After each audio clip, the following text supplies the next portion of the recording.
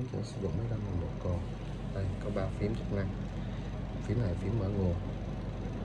Nhấn giữ trong vòng 2 giây, máy sẽ mở nguồn. Đó. sau đó mình bấm test để cho nó đưa về zero làm nóng máy đã. Rồi, mình bấm nút test tiếp theo là nó sẽ đo ha. Đo. Nó đo cái đầu thổi trên đây. Mình cứ thổi vô nó lấy mẫu. Đấy, tại 0.0 mg trên lít giờ mình test người thứ hai. Cũng bấm nút này luôn. Bấm test, thổi. 0.0 mg trên lít. Và ở đây mình có cái bộ chuẩn máy đây. Mình sẽ test nồng độ cồn thử cho máy này ha.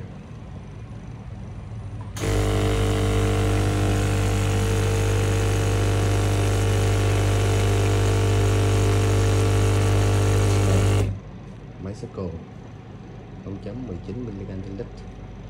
Đèn báo nhấp nháy. Đây, có cồn mình bấm nút này tiếp theo, rồi mình thổi vô đầu này sẽ đo người tiếp theo nữa nha.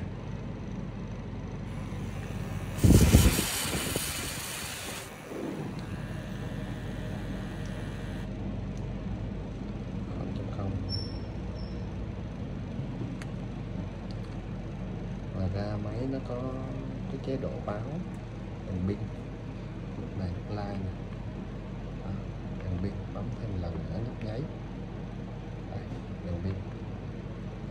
Đây là nút báo hiệu báo hiệu sau đây đèn báo hiệu này. Nhấn nút này có đèn báo hiệu bấm thêm lần nữa nó nút nháy nháy.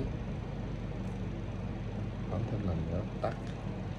Đây có một nút này nút này còi bấm này scale ha xài nữa thì mình bấm giữ nút này hai giây, máy sẽ tắt nguồn. Hoặc là máy ờ, không sử dụng trong vòng 5 phút máy cũng tự động tắt nguồn thôi.